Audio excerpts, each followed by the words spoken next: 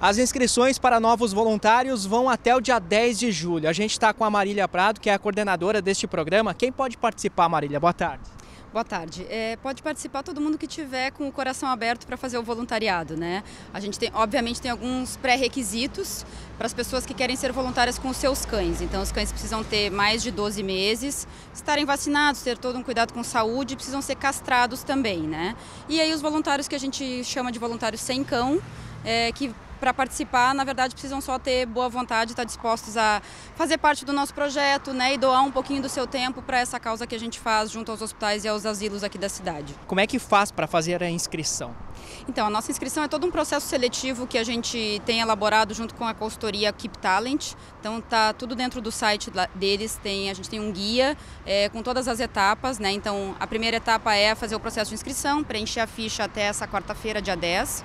E aí lá no dia 14, no domingo, a gente vai ter uma pré-seleção, né? Então a gente vai explicar para as pessoas o que, que, elas precisam doar, qual é o tempo que elas precisam dispor. Para quem não sabe o que é o Trapapet, explica um pouquinho mais para a gente.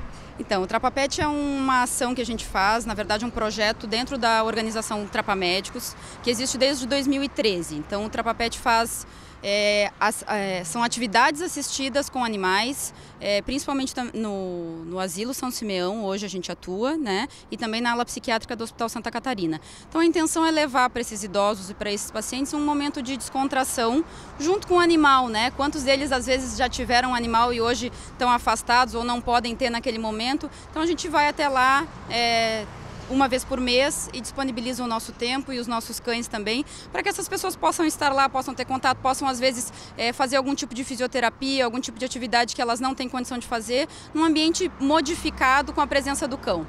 Tá legal, muito obrigado a Marília, que é a coordenadora do Trapa Pet. Eu volto com você aí no estúdio do Balanço Geral.